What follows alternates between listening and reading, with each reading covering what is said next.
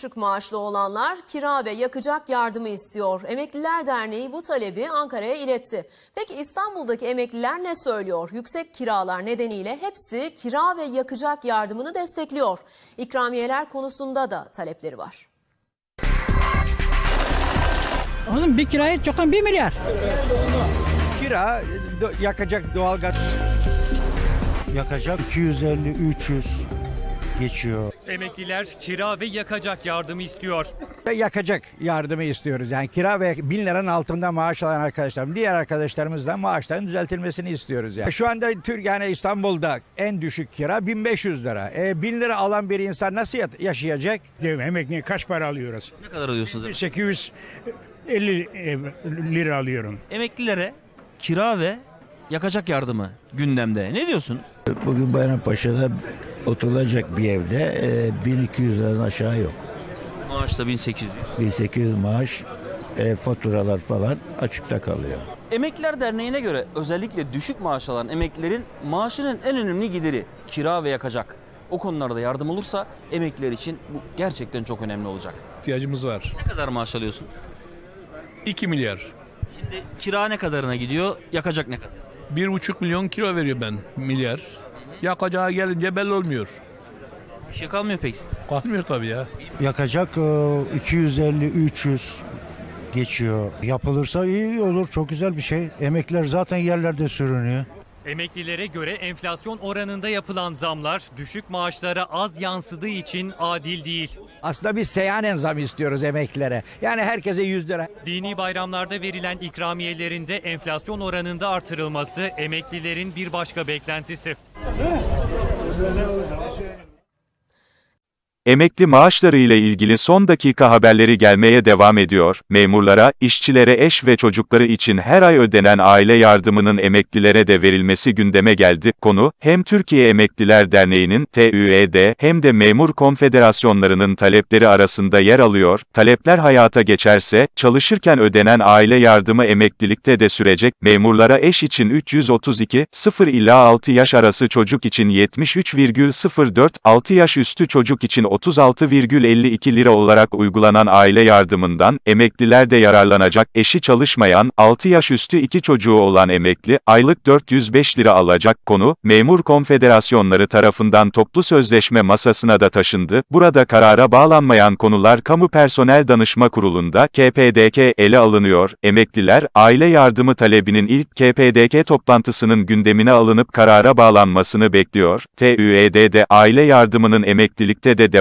etmesini sağlayacak mevzuat değişikliklerine gidilmesini istiyoruz, diyor. Memurların aile yardımı Temmuz'da maaş katsayısındaki artışla zamlanacak, tutarlar en az %4 yükselecek, eğer ilk 6 aylık enflasyon %4'ün üstünde çıkarsa, aşan kısım kadar fark da eklenecek.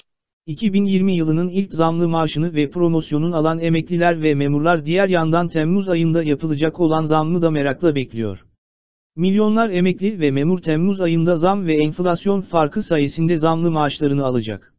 Sosyal Sigortalar Kurumu ve Bağkur emeklilerinin Temmuz zammını bu yılın ilk 6 aylık döneminde gerçekleşecek enflasyon gösterirken, memurların ve memur emeklilerinin artışı ise belli. Hakem kurulu kararı doğrultusunda, memurlara ve emeklilerine %4 zam ve bu yılın ilk yarısındaki tüfe %4'ü aşarsa enflasyon farkı yansıtılacak. %4'lük artışa göre aile yardımı hariç en düşük memur maaşı 3517 liradan 3658 liraya yükselecek. Eş yardımı 332 liradan 345,28 liraya, çocuk yardımı da 0-6 yaş arası için 73,04 liradan 75,96, üstü için 36,52 liradan 37,98 liraya çıkacak. Eşi çalışmayan, 0-6 yaş arası iki çocuğu olan memur aylık 478,08 lira alırken, bu tutar 497,20 liraya yükselecek. En düşük memur emeklisi aylığı ise 2661 liradan %4 zam ile 2767 liraya ulaşacak. Yaklaşık 12-3 milyon emeklinin zam oranında enflasyon belirleyici olurken, Türkiye Emekliler Derneği, TÜED, hesaplamada yeni sistem önerdi. TÜED Hukuk Danışmanı Kafer Turan Yazıcıoğlu, emeklilerin maaş zammı için kullanılan enflasyon oranının Türkiye İstatistik Kurumu, TÜİK, verilerine göre değil, emeklinin daha çok harcama yaptığı ürünler üzerinden belirlenecek enflasyona göre hesaplanması gerektiğini söyledi. TÜİK enflasyon sepetinde emeklileri ilgilendirmeyen birçok maddenin yer aldığını belirten Yazıcıoğlu, bu nedenle yaşlılık enflasyonu yapılmalı. Emekliye özel enflasyon hesaplanmalı, zamlar da buna göre belirlenmeli dedi. Sosyal Sigortalar Kurumu ve Bağkur emeklileri her yıl Ocak ve Temmuz'da bir önceki 6 aylık dönemde gerçekleşen enflasyon oranında zam alıyor. Memur emeklileri ise toplu sözleşmede belirlenen zam oranını alıyor. Zam enflasyonun altında kalmışsa, fark da yansıtılıyor. artış yaşandı. %4 ila 5 oranındaki ek ödemelerle beraber SSK ve Bağkur emeklilerinin maaşları 53 lira ile 215 lira arasında artış gösterecek. Peki konunun detayları neler? Onu da canlı yayın konuğumuzla konuşacağız. Yanımızda Takvim Gazetesi Ekonomi Müdürü Faruk Erdem var. Efendim öncelikle yayınımıza hoş geldiniz diyelim. Şimdi ek ödemeler aslında emeklilerin çok bildiği bir konu değil. İsterseniz onun detaylarını sizden alalım ve bu %4'lük ve 5'lik artışlar ne anlama geliyor?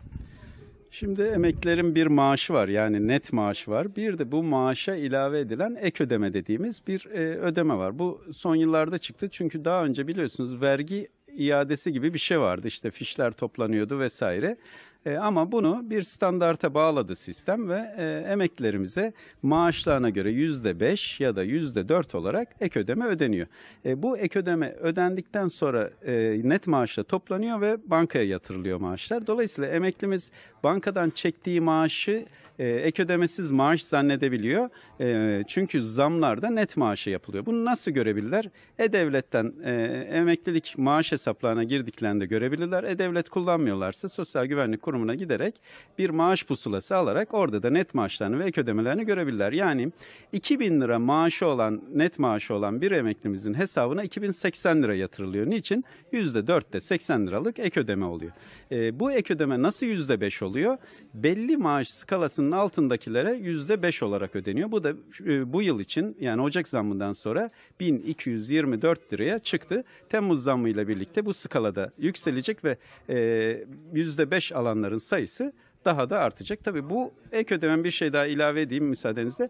Bu ek ödemenin iki katına çıkartılması için Türkiye Emekliler Derneği'nde bir müracaat oldu. İnşallah o da karşılık bulursa bu sefer yüzde sekiz ve yüzde on şeklinde ek ödemelerde ödenebilecek ama şu anki oranlar yüzde beş ve dört. Sizin söylediğiniz gibi en düşük rakam e, emekli maaşı 1071 küsür ona 53 lira küsür. En yüksek rakam da 5300 lira ona da 215 lira küsür. E, küsuratı da var kuruşu e, ek ödeme ödeniyor. Temmuz ayında ikinci bir artış yaşanacak. Ee, onun detayları nelerdir hocam? Şimdi Temmuz ayında da emeklilerimizin maaşlarına zam olacak. Ee, SSK ve Bağkur emeklileri Ocak'tan Temmuz'a kadar ki enflasyon rakamı kadar yani 6 aylık enflasyon rakamı kadar zam alacaklar. E, memur emeklileri de e, toplu sözleşme zamının üstüne enflasyon farkı alacaklar. Tabii e, net maaş arttığı zaman zam geldiği zaman ödenecek e, ek ödeme de dolayısıyla artıyor. Çünkü net maaşın %4'ü kadar ödeniyor. Peki şimdi emekliler için bir başka müjde de var. Özellikle emeklilerin belediyelere ödedikleri emlak vergisinden muaf tutuluyor. Doğru. Peki bundan kimler yararlanabiliyor? Bu konunun detaylarını da sizden alabilir miyiz? E, bu biliyorsunuz Mart ayı e, vergi ayı hem kira geliri e, elde edenler beyanname dönemi başladı 25'ine kadar verecekler ama aynı zamanda emlak vergisi ödeme süresi de başladı. 1 Mart'la e, Mayıs'ın sonuna kadar emlak vergilerimizi belediyeye gidip ödüyoruz. Burada bir muafiyet söz konusu emeklilere, engellilere, şehit ve gazi yakınlarına emlak vergisi ödemiyorlar belli şartlarda. Nedir bu şartlar?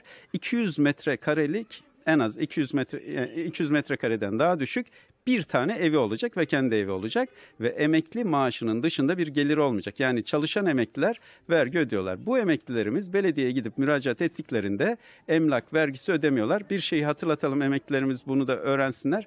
Ee, eğer bugüne kadar bundan haberiniz yoksa ve emlak vergisi ödemişseniz e, belediyeye müracaat ederek 5 yıl geriye kadar ödediğiniz tüm paraları da geri alabilirsiniz. Müracaat noktalarının belediye olduğunu belirtelim? Çünkü emlak vergisi belediyelere ödeniyor.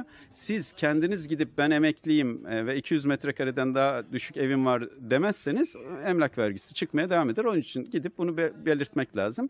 E, Burada sadece konutlardan bahsediyoruz. Bir şey daha söyleyeyim. Yeni emekliler çok merak ediyor. 2019 yılında emekli olacak birisi emlak vergisi ödeyecek mi? Evet ödeyecek. Çünkü onlar için artık e, muafiyet 2020 yılında başlayacak. Peki çok teşekkür ederiz yayınımıza katıldığınız için. Evet canlı yayın konuğumuz Takvim Gazetesi Ekonomi Müdürü Faruk Erdem'di. Kendisiyle hem emeklilere yapılan %4 ila 5 oranındaki ek ödemeler hem de emeklilerin emlak vergisinden muafiyet konusunu konuştuk diyelim ve sözü yeniden size bırakalım. Kanalımıza abone olmayı unutmayın.